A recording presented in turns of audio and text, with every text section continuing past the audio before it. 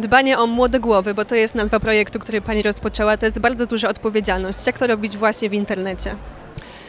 No, przede wszystkim mieć głęboką świadomość, że wszystko, co mówimy, co robimy, co piszemy, e, ma wpływ na innych ludzi i warto się wspierać, nie oceniać, e, nie podcinać innym skrzydeł i do tego bardzo namawiam wszystkich twórców e, internetowych i wszystkie osoby w mediach. Jakby chciałabym, żebyśmy naprawdę mimo, y, mimo tych trudnych czasach, y, mimo tych trudnych czasów, w których żyjemy, żebyśmy, y, żebyśmy byli dla siebie życzliwi, żebyśmy rozumieli, że każdy z nas ma prawo do błędów, do potknięć, żebyśmy rozumieli też, że każdy z nas ma prawo do trudniejszych chwil w życiu i również do tego, że mierzymy się niejednokrotnie z kryzysem psychicznym. Ja dzisiaj zapytałam ze sceny, kto z Was doświadczył kryzysu psychicznego i sama podniosłam rękę I, i, było wiele osób, które ją podniosły. Kto z Was miał w swoim otoczeniu młode osoby, ale nie tylko młode, które mierzyły się z kryzysem psychicznym i znów było mnóstwo osób, które o tym y,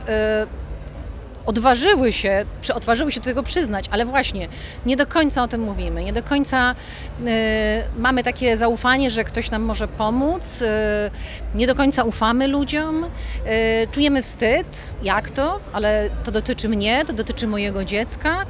Y, a rzecz w tym, że pierwszym i najważniejszym krokiem jest mówić otwarcie, jest y, poprosić też innych o pomoc, jest sięgnąć po tę pomoc, po tę pomoc w najbliższym otoczeniu, krewnych, przyjaciół, rodziny, szkoły, mądrych nauczycieli, ale też sięgnąć po pomoc specjalistów. I, i chcemy to odczarować. Chcemy, żeby młode głowy były przede wszystkim oswajaniem tematu y, zdrowia psychicznego, y, uczeniem nas wszystkich, y, jak udzielać pierwszej pomocy psychologicznej, bo wiemy, jak ratować ofiary wypadków samochodowych, a nie wiemy, jak radzić sobie w przypadku kryzysu psychicznego i jak być mądrym wsparciem dla innych.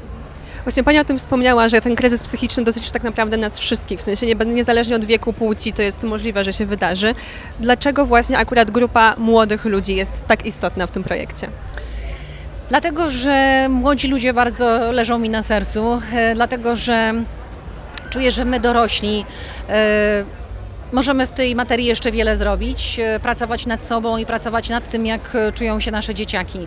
Wiemy z wyników przeprowadzonych badań, e, ten raport jest do pobrania na stronie młodegłowy.pl, że 184 tysiące młodych ludzi, którzy nam zaufali, którzy podzielili się swoimi przemyśleniami, którzy wypełnili, młode, którzy wypełnili te ankiety w projekcie Młode Głowy, że mm, czują się osamotnieni, że nie mają poczucia sprawczości, że mm, wielu z nich y, deklaruje wprost, że myślało bądź podjęło próbę samobójczą.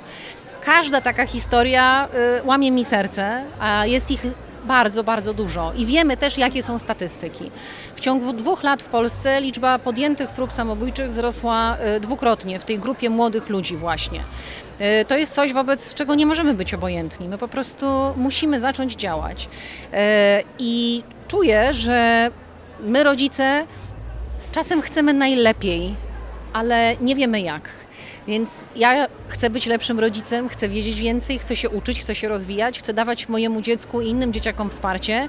E, wiem, że nauczyciele potrzebują konkretnych narzędzi, potrzebują pomocy, ale wiem też, e, że e, dzieciaki również potrzebują mądrych treści, dlatego na stronie Młode Głowy mm, te treści są i będą, bo my wciąż rozwijamy ten projekt, który robimy we współpracy z wieloma organizacjami, z wieloma specjalistami, ekspertami. To jest ogromna koalicja bardzo mądrych ludzi, którzy którzy właśnie w tej chwili pracują nad tym projektem, żeby już od września y, pierwsze jego elementy były do wprowadzenia, jak już powiedziałam, bezpłatnie i ogólnodostępne.